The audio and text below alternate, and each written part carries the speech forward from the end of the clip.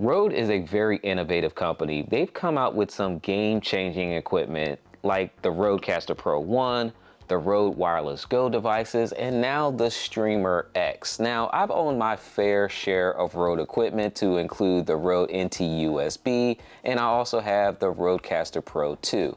But this Streamer X is a little bit different, and I really like having it on my desk. And we're gonna talk about some of the features of this device, why I really like it, but I'm not ready to let this go from my desk because I am having some issues with this. When Rode introduced the Rodecaster Pro 1, it really changed the game, especially for someone like me that wanted an audio interface on their desk but wanted a little bit more flexibility to control multiple audio sources, to do mix minus, a lot of the complex things that you would need a traditional audio mixer to do the Rodecaster really could do everything and it just looked a lot better. And if you were doing a podcast, this was probably the machine you most wanted because you knew that creating your podcast would just be that much easier. But now Rode has started to introduce devices that I really like, like this Streamer X, because not only are we talking audio, but now we're talking video. And I wanna walk through this setup, how I'm using the Streamer X, and some of the quirks that I have with it because I'm not quite ready to let this go from my desk. Now for this particular setup, I primarily use the Rodecaster as my audio interface for Clubhouse conversations, for recording videos in OBS, Zoom, Google Meets, those types of things. Nothing really complex. But one of the things about this device is it's a little bit larger than I want for this desk and it takes up a big footprint. So having the new Streamer X definitely is smaller and gives me more of my desk space back. So let's walk through some of the features of the Streamer X. This device gives me everything that I need. I'm able to connect my XLR microphone. I'm using the Shure SM7B. I don't need any additional preamps. I don't need any additional FetHeads or cloud lifters straight into the Streamer X and I'm getting the volume levels that I really, really want from this microphone. I also have my headphone jack plugged into here for my Shure headphones and I'm using the HDMI input for my mirrorless camera to bring in the video feed. Now, this device has been marketed a lot for gamers, and I'm not one of them. So if you're a gamer, I apologize for the rest of the video, but I am gonna walk you through why I use this device as a content creator. The audio input is a combo jack that allows you to connect your quarter inch or your XLR input into it.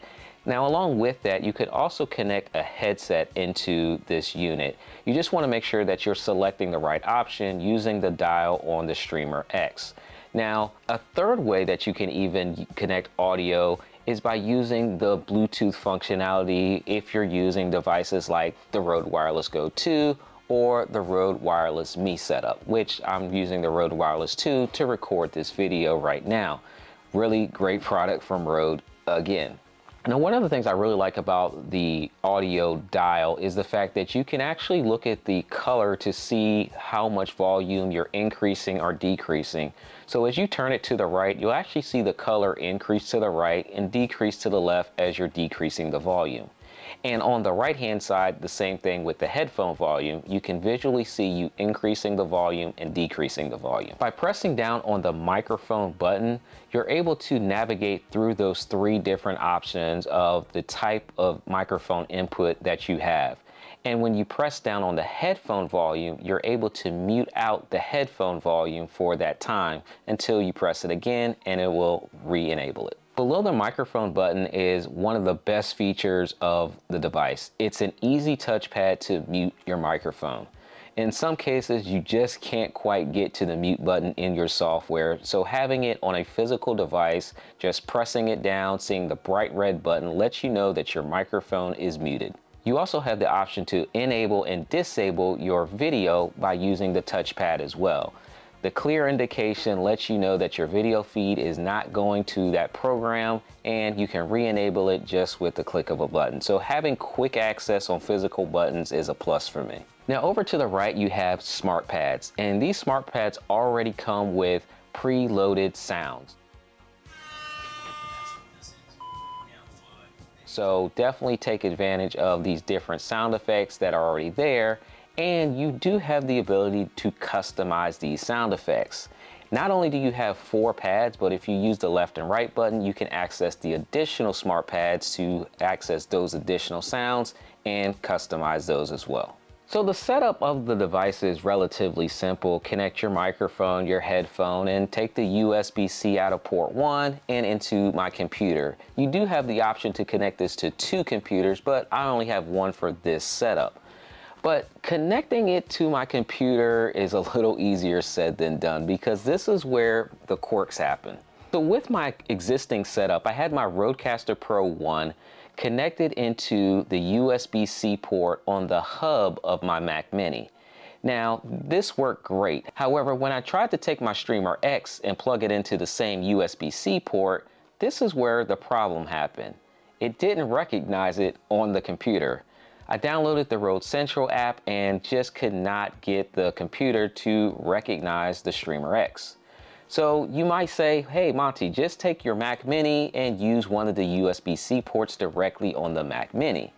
Well, here's the issue with that. One of the USB-C ports is being used for my 49-inch monitor and the other USB-C port is being used to connect to the hub. And the hub has some vital equipment connected to it my mouse, and my keyboard. So I had to take out the mouse and the keyboard and put it into another USB hub and that way it would free up the USB-C cable directly on the Mac Mini. Then I took the Streamer X, plugged it directly into the Mac Mini, and then it began to work. Well, almost.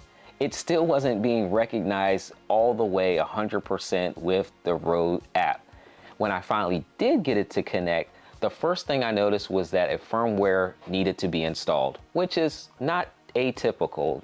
When I get new equipment, I'm used to updating the software and the firmware. However, the firmware was unsuccessful in installing. So I'm not sure why the firmware is not installing. So what I did was I took the talents over to the Windows computer on my laptop over there tried the exact same process there and still not able to update the firmware through the app. So not sure why the firmware is not working, but actually connecting it to the computers works just fine. I was able to connect, bring up OBS, bring in the video feed, bring in the audio feed on the Mac computer, and it works just fine. Did the exact same thing on my Windows laptop, brought it into OBS, image, audio works just fine over there as well.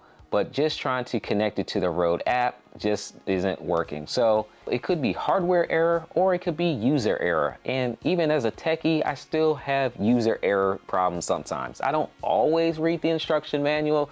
So if you guys have the Streamer X or Rode, if you're watching this video, definitely I could use some assistance in trying to get the firmware updated and talking to the software. So having used the Streamer X for about 24 hours, I have been able to test it in a few platforms and programs and everything works well. Now, I'm not quite ready to get rid of the Rodecaster 1 from this desk and may even swap it out because there are some things that I miss as a person that loves to see what is going on.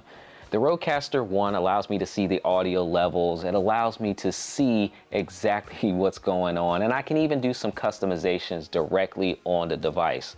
Whereas right now, because I can't access the software, I'm not able to have that customization in the Unify app or in the Rode Central app. So that is a drawback for me right now, but hopefully we can get that resolved in some future videos. Now, I will be talking more about this device and showing it in different scenarios on Amazon. So if you're not following me on Amazon, definitely check me out over there. Now, if this video has been helpful or you want to learn a little bit more, make sure you check out the next video right here on the channel.